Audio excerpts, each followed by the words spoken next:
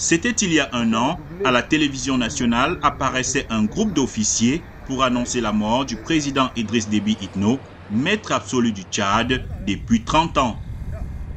C'est avec une profonde amertume que nous annonçons au peuple tchadien le décès ce mardi 20 avril 2021 du maréchal du Tchad, Idriss Déby Itno, des suites de ses blessures au front.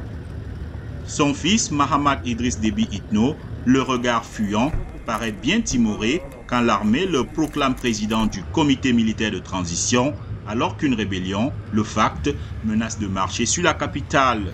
Le nouvel homme fort N'Djamena promet alors des élections libres et démocratiques après une transition de 18 mois. Renouvelable une fois, tempère le lendemain une charte de transition. Le général Déby s'engage à ne pas se présenter à la future présidentielle. Il promet aussi d'organiser un dialogue national inclusif ouvert à toutes les oppositions, politiques et armées. Depuis lors, le pré-dialogue de paix prévu à Doha au Qatar peine à se tenir faute de consensus sur le format de la rencontre et les acteurs invités. Mais Mahamad Déby se veut rassurant. Comme annoncé précédemment, les travaux du dialogue national inclusif commenceront le 10 mai 2022 à N'Djamena.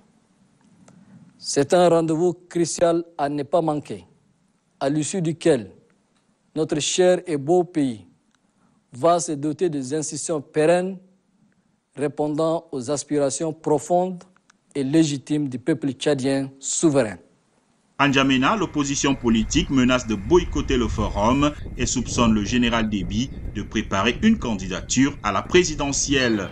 Elle surfe par ailleurs sur la situation économique qui se dégrade. Depuis plusieurs mois, des manifestations contre la vie chère sont organisées dans la capitale alors que les prix flambent sur les marchés, accentués par la hausse du prix du pétrole et les effets de la guerre russo-ukrainienne.